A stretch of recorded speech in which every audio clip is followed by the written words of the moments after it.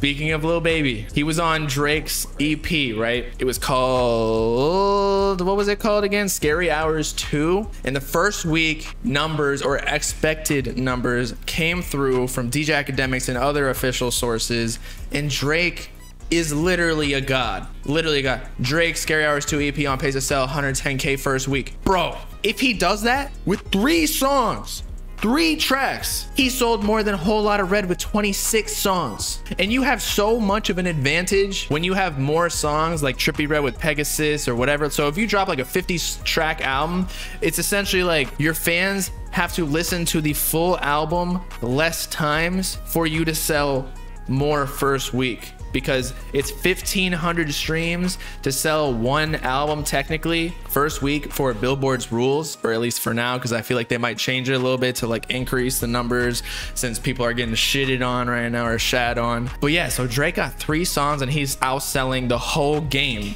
When they're dropping like full on projects and deluxes with literally like 50 songs total bro. But yeah it is drake so, you know, Drake is the GOAT. People were right, you know, Drake ain't going nowhere.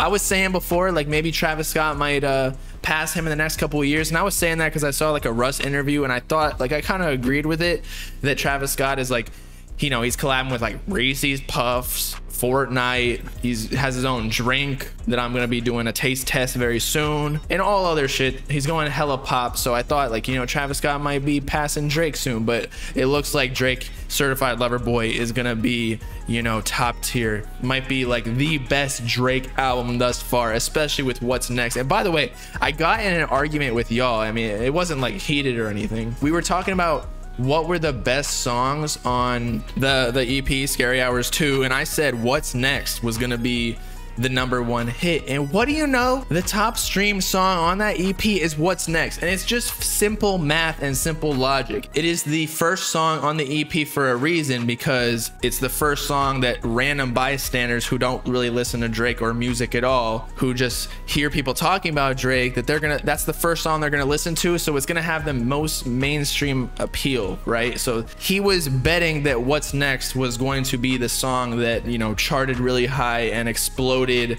his EP and promoted his Certified Lover Boy album that's coming out very soon. And he even dropped a music video. So I know a lot of people like that Lil Baby verse that I think Lil Baby carried Drake in.